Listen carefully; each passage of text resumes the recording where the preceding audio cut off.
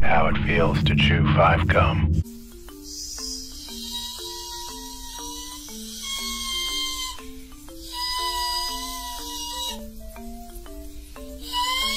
Stimulate your senses.